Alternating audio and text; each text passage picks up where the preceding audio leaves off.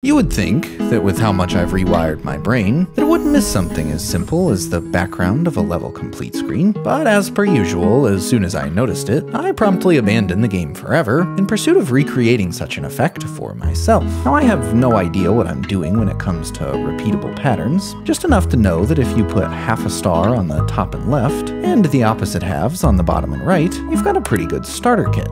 If you slap it in a div with a small background size, it'll automatically repeat itself and then you can pan it from left to right over a few minutes. Let's pick out a couple RGBs and throw them in a gradient. We want this gradient to sit neatly behind our stars, so we'll place it in a parent container, and we also want our stars to seem as though they're appearing and disappearing into the edges. So why don't we make a new gradient that's transparent in the center and position it absolutely on top.